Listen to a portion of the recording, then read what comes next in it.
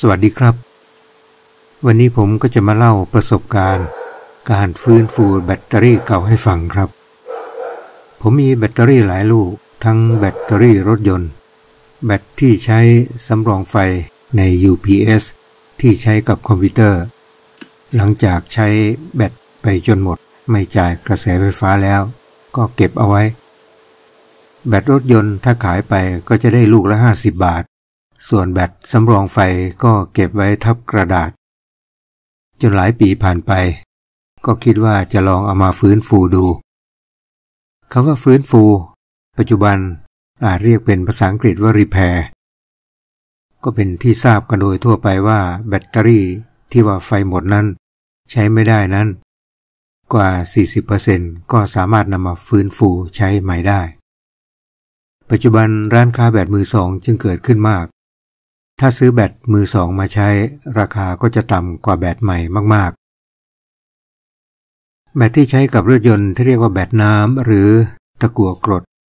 เหมาะสำหรับใช้ในรถยนต์ เพราะต้องการไฟแรงในการเริ่มสตาร์ทสูง และราคาก็ไม่แพงมาก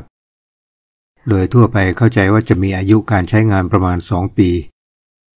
ส่วนแบตที่ใช้ในเครื่องสำรองไฟ ก็เป็นแบตตะกั่วเหมือนกัน เรียกว่าแบตแห้ง คือใช้ได้โดยไม่ต้องเติมน้ำกลั่นอีก เราเรียกว่าเป็นแบตชนิดดิฟไซเคิลแปลงง่ายๆว่ารอบลึก คือหมายความว่าใช้ได้นานกว่าแบตตะกัวที่ใช้กับรถยนต์ เพราะแผ่นตะกัวก็จะหนากว่า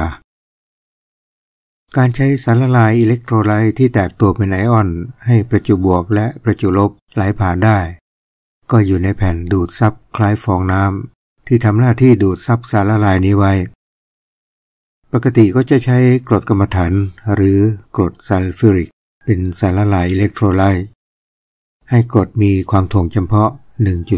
1.25 ผม repair แบตที่ใช้กับรถยนต์สำเร็จไปแล้วสองลูก แต่ที่จะเล่าให้ฟังวันนี้ก็คือการ repair แบตที่ใช้ในเครื่องสำรองไฟ หรือที่เราเรียกว่าแบตแห้งหรือ deep cycle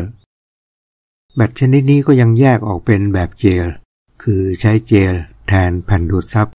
แบตชนิดนี้ก็จะมีคำว่าเจลอยู่ข้างกล่องแบตด้วย ทั้งหมดที่กล่าวมานี้ก็เป็นแบตตะกั่วทั้งหมด วันหลังมีโอกาสก็จะเล่าถึงแบตชนิด lithium iron phosphate ให้ฟังครับ การชาร์จแบตแห้งให้เรานำแบตมาทำความสะอาดขั้วแบตอาจจะสกปรกมีคราบเกลือเกาะอยู่ ก็ให้ใช้ตะไบหรือกระดาษทรายขัดเบาๆที่ขั้วบวกและขั้วลบขั้วบวกก็จะมีเครื่องหมายบวก เป็นขั้วที่มีสีแดง ส่วนขั้วลบก็จะมีเครื่องหมายลบ และเป็นขั้วที่มีสีดำ หลังจากทำความสะอาดแล้วก็ให้ใช้มิเตอร์วัดดูให้แน่ใจว่าไฟหมด แรงดันไม่ขึ้น แสดงว่าไม่มีกระแสไฟฟ้าจริงๆ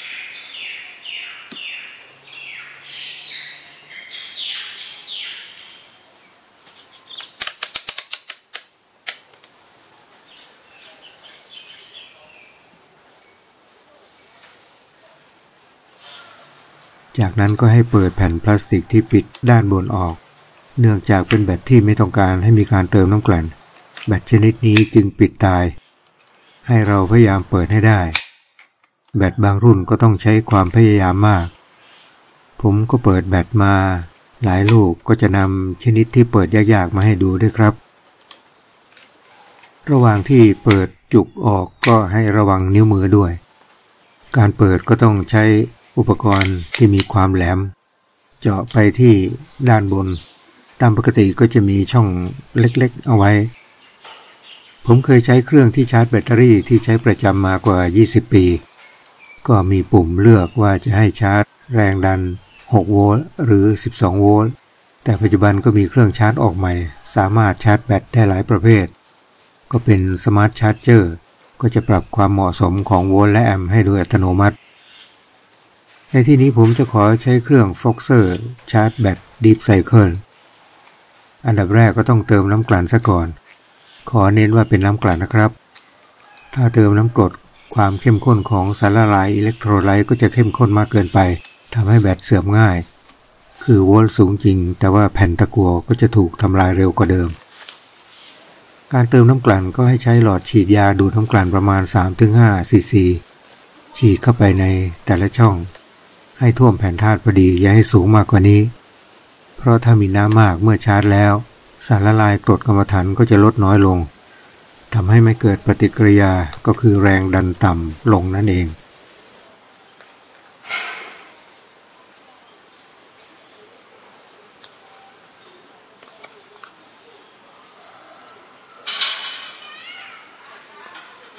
เมื่อเติมน้ำกลั่นแล้วก็ให้ปิดจุกแต่ละช่องตามเดิม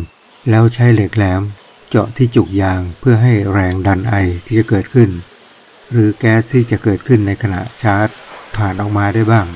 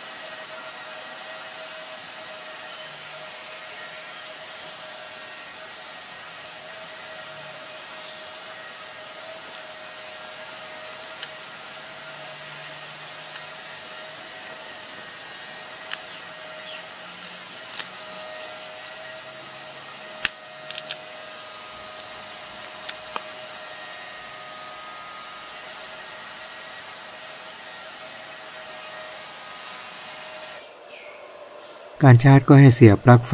เครื่องชาร์จซะก่อน แล้วจึงมาเลือกโหมดการฟื้นฟูหรือ repair โดยสัมผัสเบาๆที่ปุ่ม เพราะเป็นระบบสัมผัส ถ้าใช้ที่คีบมาคีบที่ขั้วบวกและลบก่อน แล้วจึงนำเครื่องชาร์จไปเสียบปลั๊กไฟ เราก็จะไม่สามารถเลือกโหมดในการชาร์จแบบต่างๆ ได้ เพราะปุ่มจะล็อกโดยอัตโนมัติ เมื่อเลือกโหมด repair แล้วก็ต้องรอเครื่องทำงาน การรีแพร์ก็ใช้เวลานานไม่เท่ากัน อาจใช้เวลา 8 ถึง 30 ชั่วโมง ก็แล้วแต่ขนาดของแบตเตอรี่และสภาพของแบตเตอรี่นั้นๆ บางลูกก็ฟื้นฟูได้เร็ว บางลูกก็ใช้เวลาหลายวัน ขณะที่รอกระบวนการฟื้นฟู ผมก็จะเล่าว่า การฟื้นฟูใช้กระบวนการชาร์จไฟอย่างไร ถ้าแบตของเราเป็นแบตชนิด 12 โวลต์ แต่เมื่อเครื่องเลือกใช้การชาร์จ 24 โวลต์ ก็แสดงว่าแบตนั้นอาการหนัก จึงต้องเพิ่มแรงดันให้มากกว่าเดิม โดยจะใช้แรงดัน 24 โวลต์ การเลือก 12 โวลต์หรือ 24 โวลต์ ก็ไม่มีปุ่มให้กดเลือกนะครับ เครื่องจะเลือกให้เอง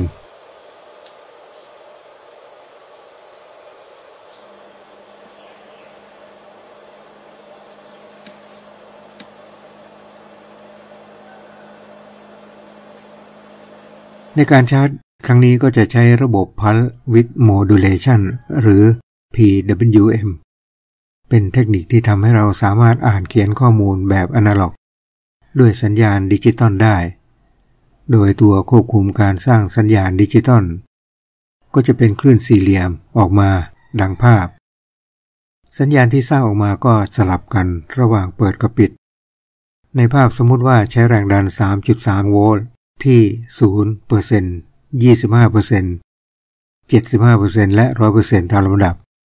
จะเห็นว่าความกว้างของแต่ละคลื่นก็ไม่เท่ากัน แต่ความถี่จะเท่ากัน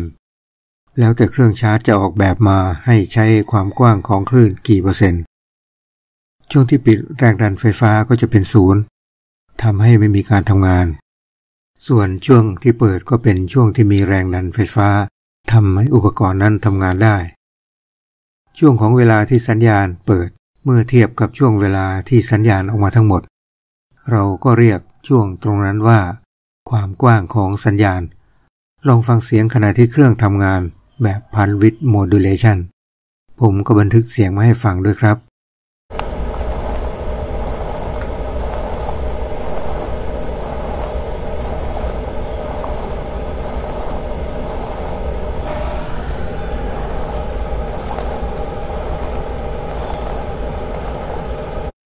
ปฏิกิริยาเคมีขณะที่ประจุไฟฟ้าขออธิบายทั้งนี้นะครับ เมื่อเราใช้ไฟในแบตเตอรี่ไปเรื่อยๆขั้วบวกและขั้วลบของแบตเตอรี่ก็จะกลายเป็นตะกั่วซัลเฟต ก็มีน้ำเกิดขึ้น ความถ่วงเฉพาะของกรดกรรมฐานหรือกรดซัลฟูริกก็จะลดต่ำกว่า 1.25 ทำให้ปฏิกิริยาการจ่ายอิเล็กตรอนลดลง เราเรียกว่าไฟหมด ก็ต้องนำแบตเตอรี่ไปประจุไฟใหม่ ที่เราเรียกว่าการชาร์จ โดยการปล่อยไฟฟ้ากระแสตรงลงไปนำขั้วบวกของเครื่องชาร์จต่อเข้ากับขั้วบวกของแบตเตอรี่ขั้วลบของเครื่องชาร์จต่อเข้ากับขั้วลบของแบตเตอรี่ พูดง่ายๆก็คือบวกต่อบวกลบต่อลบ จากนั้นก็ปล่อยไฟฟ้ากระแสตรงลงไป เมื่อพูดถึงกระแสเฉยๆนี่เราก็ไม่รู้ว่าเป็นกระแสอะไรนะครับ กระแสไฟฟ้าก็จะไหลจากขั้วบวกไปลบ